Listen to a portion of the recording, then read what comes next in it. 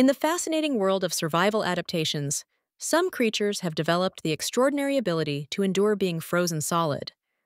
Wood frogs and tardigrades use a remarkable process called cryptobiosis, where they essentially put their life processes on pause when conditions become extreme. These animals produce special proteins and sugars that act like natural antifreeze, preventing ice crystals from damaging their cells. When temperatures drop, ice typically forms sharp crystals that would normally puncture cell membranes and cause fatal damage.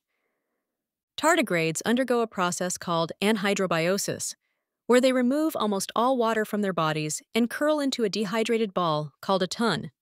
Wood frogs pump their cells full of glucose, which prevents ice formation inside the cells and protects vital organs during freezing.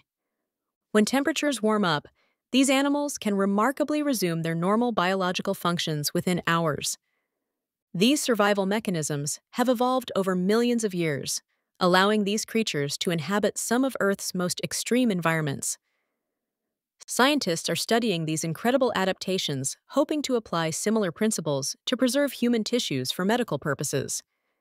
This research could revolutionize organ transplantation and even help humans survive long term space travel in the future.